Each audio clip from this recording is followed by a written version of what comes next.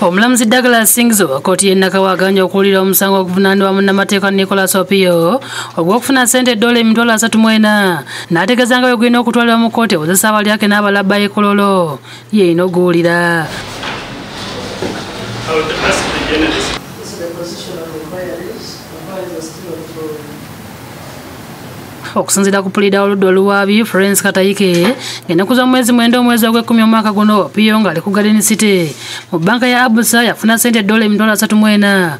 Ku lw'ekibiina kya chapter for uganda ekyali kimenya amateeka era ng'ategeeza kkooti nga bakyakola okunoonyereza ku musango guno nga bakyetaagayo obudde obulala basobole okuŋŋanya obujulizi. Omulamuzi singiza akkanyiza n'omuwabi wa gavumenti era bw'atyo n'amusindika mu kkomera ekitalya okutuusa ng'ennaku z'omwezi abiri mu munaana omwezi guno gye banaamusomera omusango nga gyalina n'okusaba kkooti emuyimbula ekakalu kaayo. Munnamateeka wa nicolas opio nga ye david mpanga avumirira ekya poliisi okutwalanga abantu mu kkooti. Nga temaze kunoonyeza ku misango gyabwe nga kino kizza kyamuluguzibwako n'ab'ekitongole ekigatta bapulida mu ggwanga.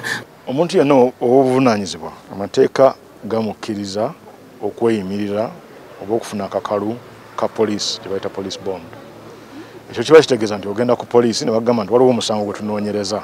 Olw'ensonga eyo tukutadde ku bondo ojja kujjanga wano buli lunaku oba buli sabbiiti oba buli mwezi nga n'okunoonyereza bwe kweyongerayo tulabe. Oba wabeerawo omusango tujja kutwala mu kooti bwe gutabeerewo tujja kukuta. Mpanga era avumiridde n'engeri opio gye yakwatibwamu ne banna abalala damba taddeo yakusakidde eggulire no ku lwabukedde tv